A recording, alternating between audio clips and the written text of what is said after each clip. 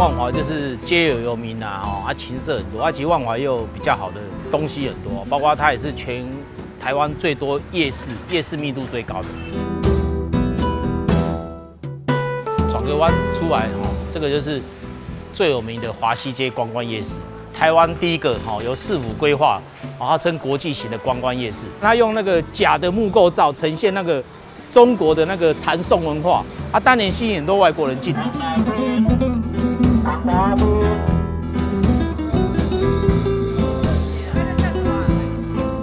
去，你会发现好几千位的女生在那边工作。一个老城社区哦，不是用一个现代化的观点、法治来管理它，反而是在一个地方的社会角力，有黑的有白的，一起互相共治。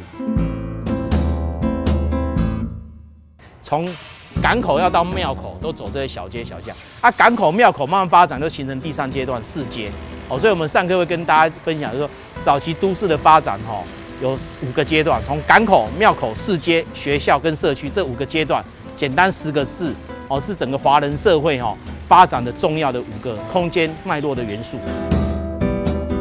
仁济院，你只要看它背后的建筑，它就是把那个中国闽南传到台湾这三合院，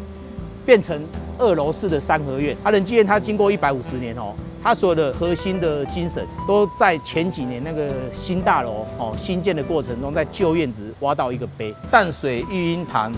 仁济院的前身，清朝的时候哈，哎留下了一个碑，鳏寡孤独废疾者都可以用。港口庙口